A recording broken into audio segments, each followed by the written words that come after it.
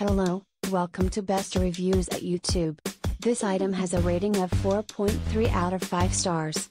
A customer wrote, This drive is fast. Thunderbolt is truly an impressive technology. I have been getting sustained sequential write speeds of around 240 to 250 megabytes per second from an internal SSD to this drive. But I have to say I was taken by surprise that this drive, and its smaller version with 6 terabytes Thunderbolt Duo, use a different RAID implementation than their cousins, the WD My Book Studio Edition 2 series. The older drives used a hardware RAID that created a single logical volume such that the OS only saw one volume. With the Thunderbolt Duo units, both drives are seen.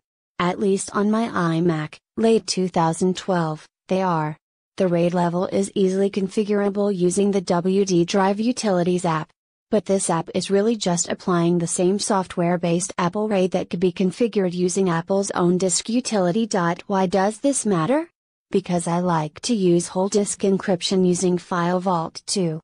But File Vault does not support software RAID volumes so I cannot encrypt these drives and use RAID 0, striping, or RAID 1, mirroring. This is a major bummer. Dot as mentioned, the older My Book Studio Edition 2 units created a single logical volume so I can apply whole disk encryption using File Vault. I was assuming I could with these as well, but I learned what assuming does the hard way. Dot dot. Thank you for watching. Please give the thumbs up.